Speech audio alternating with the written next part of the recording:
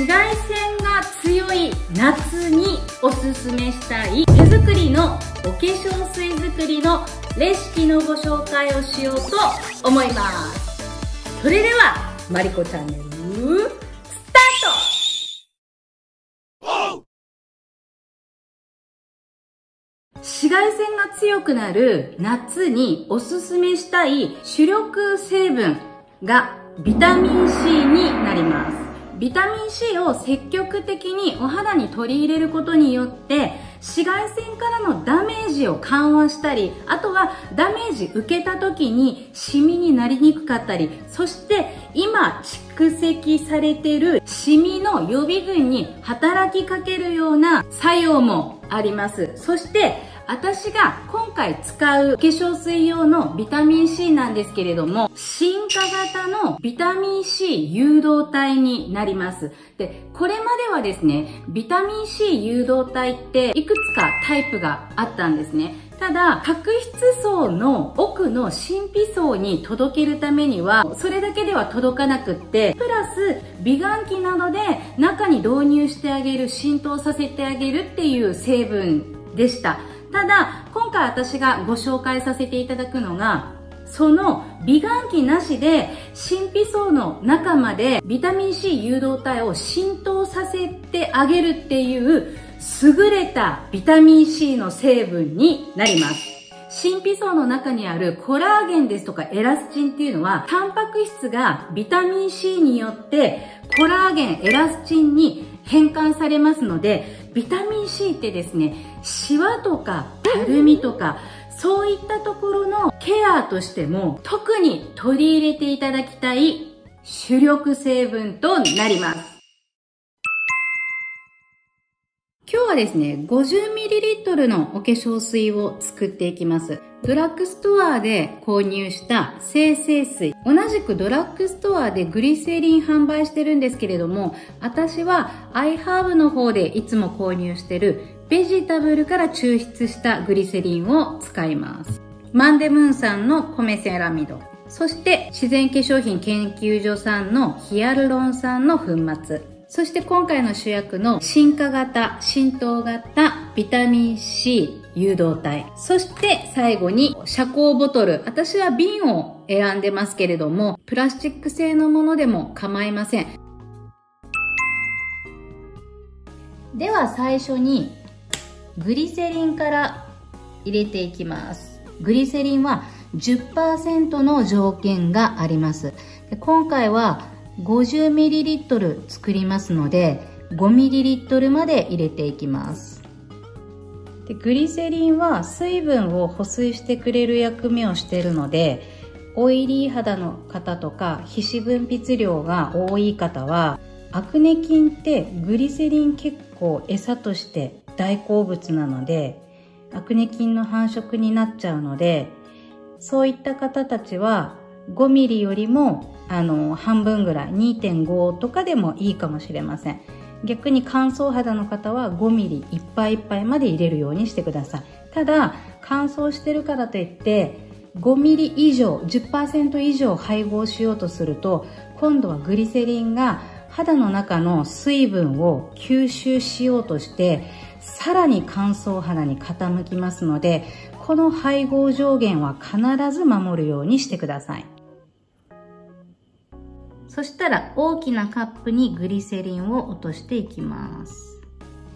そしたら今度は精製水を入れていきます。50ml のラインまで注いでいきます。なので 45ml お水が入るということになります。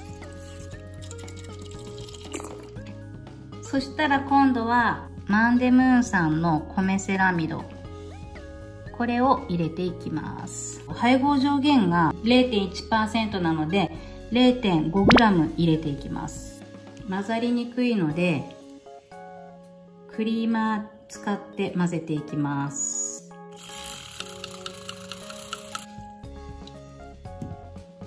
ヒアルロン酸。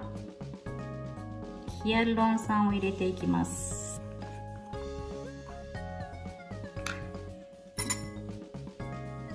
ヒアルロン酸はあの化粧水にまあ、粘り気っていうかペタペタとした質感をとろみを入れてくれる効果があるのでサラサラしたのが好きな方はまあ米セラミドと同じく0.5ぐらいでもいいですけれどももっとこうねっとりとあのトロトロにしたいっていう方は0.1とか入れてもいいと思います。私はトロトロが好きなのでお化粧水すぐ蒸発しちゃうのでお顔の上にのせたらあのこのヒアルロン酸もかなり保水力が強いので私は 0.1g 入れていきます。そしたら次えー、あ袋見せても一緒か。APPS アプリシエ、えーと、浸透型ビタミン C 誘導体を入れていきます。これの配合上限が1%です。なのでこれ 1g のさじなのでこれに半分 0.5g 入れていきたいと思います。遮光ボトルに入れていきたいと思います。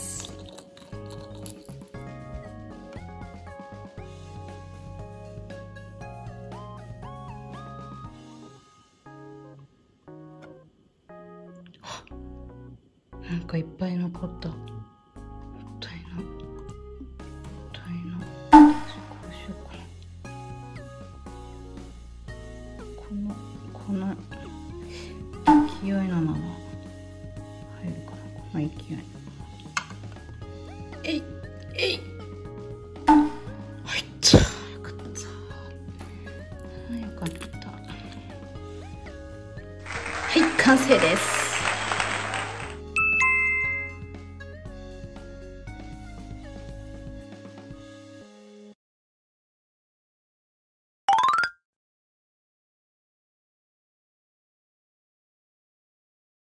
あの、略して APPS、プレシアっていうのかな？昭和電工さんが登録商標してる成分となりますので、例えば、ドラッグストアなんかで置いてる化粧水に、この進化型、浸透型のビタミン C 誘導体が配合されてるっていうことは、私が今ご案内してるものともう全く同じものになります。すべて昭和電工さんが製造したもの。になります。だからもう特にもう作った方がいいんですよ、この。あの、APPS に関しては。これがですね、とても、あの、不安定で参加しやすくなるので、取り扱いが結構難しいんですよね。ただ、市販されてるものって、まあ、3ヶ月とか持つものになってるでしょ ?3 ヶ月から1年。だから、どういった防腐剤が入ってるのかなっていうのも気になりますし、だから、いつも安心して新鮮で有効成分いっぱいいっぱいまで使えるっていうのはやっぱり手作りするのが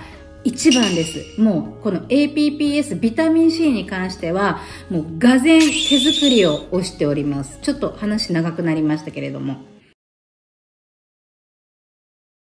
はい、できました。この進化型ビタミン C 誘導体ってかなりお値段が上がるんですよね。本当に効果の高いお化粧成分になるので、市販のビタミン C のお化粧水ってどの誘導体が入ってるのかもわかりませんし、あとはどれぐらいの分量を入れられてるのかっていうのもわからないじゃないですか。なので自分で配合上限いっぱいいっぱいまで入れたお化粧水を作るのが一番信用できますし、効果も実感できるのかなって思います。日差しが強い夏がやってきます。ビタミン C たっぷりのローションでお肌をしっかり守ってください。それでは、マリコちゃんまた来週木曜日。バイバイ。